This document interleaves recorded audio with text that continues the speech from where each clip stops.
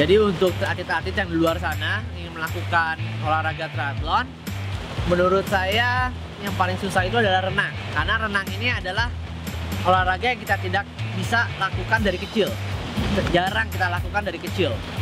Yang seperti sepeda dan lari kita lakukan dari kecil. Seperti lari kita bisa lari kapan aja, sepeda hanya kita bisa sepedaan. Pas triathlon kita punya keseimbangan baik, kita bisa melakukannya. Tapi di berenang ini banyak orang yang tidak melakukan olahraga renang di kecilnya. Dan untuk memulai olahraga triathlon, yang pertama itu adalah renang, sepeda, baru lari. Jadi lebih baik kita belajar renang dengan teknik yang benar utamanya. Asalkan kita punya teknik benar, berenang kita akan lebih efisien di air juga. Dan untuk menggunakan teknik yang benar ini pertama kita biar tidak takut sama laut itu kita harus relax. Kalau kita nggak relax, umpama kita lagi di laut, kita panik.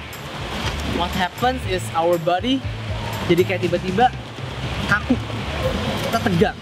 Saat tegang itu kita, kita seperti batu, ya itu akan tenggelam. Saat akan kita tenggelam dan nyawa kita tidak ada, kita akan naik lagi ke atas. Saat kita nyawa di atas, kita basically kan lemes sudah otot. Nah, ototnya udah lemas, berarti kita bisa ngapung. Nah, jadi basically hampir semua orang itu bisa ngapung. Jadi apa yang kita perlu takutkan di laut itu sebenarnya hanya ombak, arus bawah, arus atas. Tapi bila orang panik itu sebenarnya tidak usah panik sih.